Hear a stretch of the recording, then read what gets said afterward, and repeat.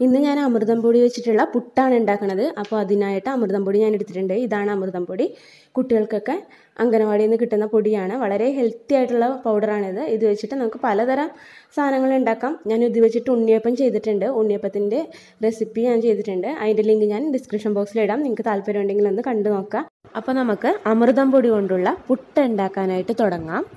അതിനായിട്ട് ഞാനിവിടെ ഒരു രണ്ട് ഗ്ലാസ്സോളം അമൃതം പൊടി എടുത്തിട്ടുണ്ട്. അപ്പോൾ അളവിലൊന്നും കുഴപ്പമില്ല. നിങ്ങൾ ഏത് ഗ്ലാസ്സിലെടുക്കണോ ആ ഗ്ലാസ്സിലെടുക്കാം അപ്പോൾ ഇതിന് അമൃതം പൊടിക്ക് നല്ല മധുരം ഉള്ളതുകൊണ്ട് പുട്ട് അമൃതം പൊടി മാത്രം ഉപയോഗിച്ചിട്ട് ഉണ്ടാക്കിയിട്ടുണ്ടെങ്കിൽ പുട്ടിന് നല്ല മധുരം ഉണ്ടാവും.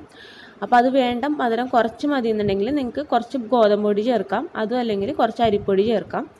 അത് നിങ്ങളുടെ ഇഷ്ടത്തിന് അമൃതം പൊടിനെക്കാട്ടിൽ കൂടണ്ട. ഒരു പകുതി അളവിൽ വരെ നമുക്ക് ഈ അരിപ്പൊടി അല്ലെങ്കിൽ ഗോതമ്പ് പൊടി ചേർത്തിട്ട് പുട്ടുണ്ടാക്കാം അപ്പോൾ വേറെ പ്രത്യേകിച്ചൊന്നുമില്ല. നമുക്കിത് വറക്കൊന്നും വേണ്ട. ജസ്റ്റ് ഈ അമൃതം പൊടി ഒന്ന് അരിച്ചെടുക്കണം.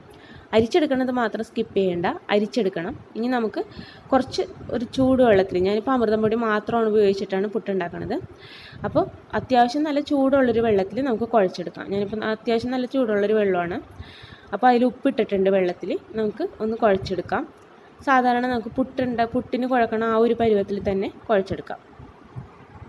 നമ്മൾ ഗോതമ്പ് പൊടിയൊക്കെ കുഴക്കുമ്പോൾ വെള്ളം ചേർത്ത് കൊടുക്കൂലേ കുറച്ച് കുറച്ചായിട്ട് വെള്ളം ചേർത്ത് കൊടുത്തിട്ട് കുഴച്ചെടുക്കണം. ഇല്ലെങ്കിൽ ഫുള്ള് കട്ട പിടിച്ചു പോകും അപ്പോൾ നമുക്ക് അതേപോലെ ആ രീതിയിൽ കുഴച്ചെടുക്കാം. ഇപ്പം നമ്മൾ പാകത്തിന് കുഴച്ചെടുത്തിട്ടുണ്ട്. നോക്കി നമ്മൾ കറക്റ്റ് പാകമായിട്ടുണ്ട്. പിടിക്കുമ്പോൾ കൂടി വരുകയും വേണം പിടിക്കുമ്പോൾ നല്ലോണം വിട്ടു പോകാൻ വേണം. ആ ഒരു പാകമാണ് പുട്ടിന്റെ അപ്പോൾ ആ ഒരു പാകത്തിൽ നമുക്ക് കിട്ടിയിട്ടുണ്ട്.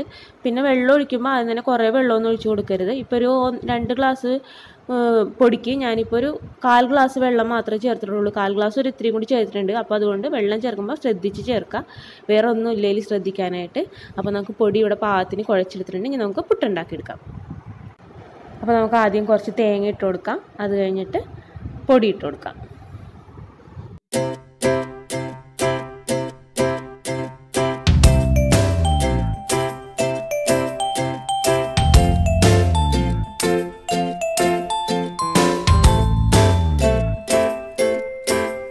അപ്പോൾ നമ്മുടെ അമൃതം പൊടി കൊണ്ടുള്ള പുട്ട് ഇവിടെ റെഡി ആയിട്ടുണ്ട്. ഇതിനകത്ത് വേറെ അരിപ്പൊടിയോ ഗോതമ്പ് പൊടിയോ ഒന്നും മിക്സ് ചെയ്തിട്ടില്ല. അത് നിങ്ങൾക്ക് വേണമെങ്കിൽ താല്പര്യം ഉണ്ടെങ്കിൽ മിക്സ് ചെയ്ത് ഉണ്ടാക്കാം.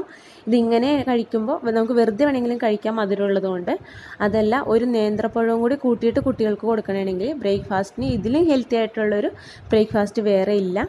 അപ്പോൾ എല്ലാവരും ട്രൈ ചെയ്ത് നോക്കുക. കുട്ടികൾക്ക് ഉണ്ടാക്കി കൊടുക്കാം അപ്പോൾ വീഡിയോ ഇഷ്ടപ്പെട്ടിട്ടുണ്ടെങ്കിൽ തീർച്ചയായിട്ടും സബ്സ്ക്രൈബ് ചെയ്യാനും കമന്റ് ചെയ്യാനും ഒന്നും മറക്കരുത്. അപ്പോൾ ബായ്